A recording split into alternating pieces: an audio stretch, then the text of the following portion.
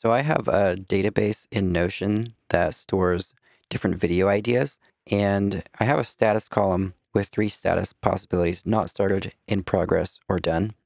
And currently I have these set to some random uh, page icons, but when I when I create a list to view these, um, I really want this the page icons to reflect the status.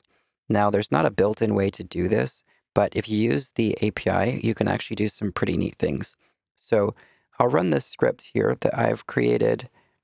And if you watch over here, it's going to start changing these icons. Um, so it's listing out the, the page titles as it goes through here. And now you can see we've got these all set to, if it's done, it's the custom icon or custom emoji, which is YouTube. Uh, if it's in progress, it's a video camera. If it's not started, it's a light bulb.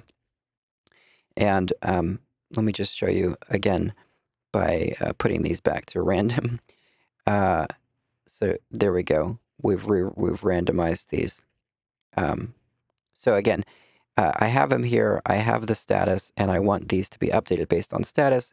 So I simply run this Notion update icon script, and it's going to go through, check the status of the page, and then set the icon accordingly. Now, the randomization one that I did is this right here. And this is a nice simple script. You can pause the video, take a look at this. This is a simple one to get started with the API. Uh, one thing to note is that I'm I've created a file called config.py, and in that py, in that file I have uh, an API key defined and the database ID defined. So just be mindful of that. Um, so this is a very simple example. All this does is uh, add a random emoji from this list to every page in the database. And that's how I reset this so that I could show you the example again. And the way to get started with that is if you go to, uh, here, let me show you the first page here. So if you go to developers.notion.com, you can click View My Integrations here.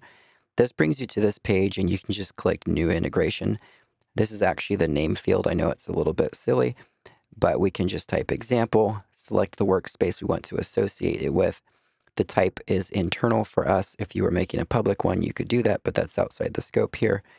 Hit save configure installa- integration settings.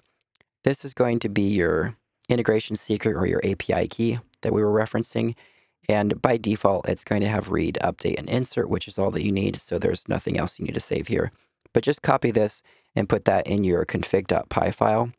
Uh, and then you can just come over, create this, uh, run that in, in uh, whatever terminal you like to use. This is the random page icons one. And that's going to go through and randomize all of these. Now, that's not a very useful one, the randomized one. So here's the example on the one that actually updates the page icons.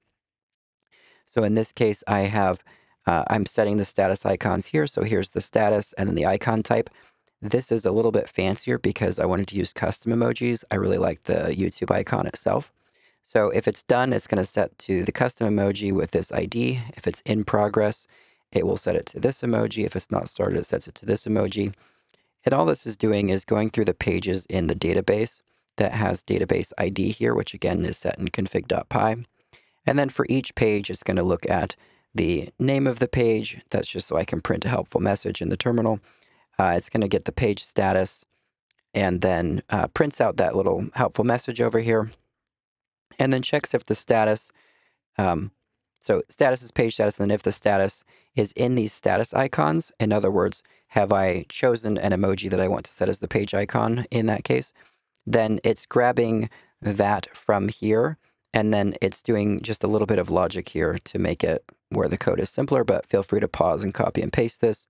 Um, and then this, when it calls this on the page, it's just updating the page icon to the values that we have up here. So anytime you run this, it runs uh, runs through everything in that database and does it. And again, we can just run it here so you can see it. We're updating pages. It's going through and it's changing them all. So this is obviously not the the most ideal solution ever. Obviously, if this was built in, it would be great. But for me, this works uh, is more than sufficient. I can run this whenever I want everything to get updated, and it can go through there and do that. Obviously, you can also update publish date, video URL, you know, anything else that's in here, you can be accessing and updating that from there, which is going to be great in a future video. I'll show you how to work with local LLMs in your Notion database. So that's it, and I hope you have a great day.